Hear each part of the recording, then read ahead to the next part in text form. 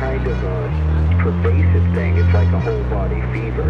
Uh, it, there's a feeling that you can't do anything about it, and uh, Yes. you're sort of a helpless spectator to that.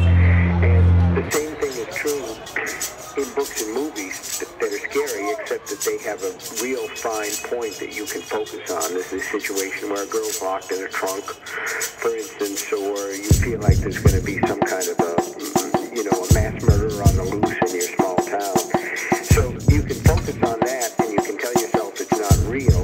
which puts it sort of under glass bubble, you can control it.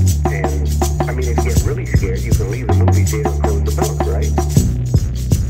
The only thing that you can do with a, a real life situation is uh, to turn off the TV, and that's that's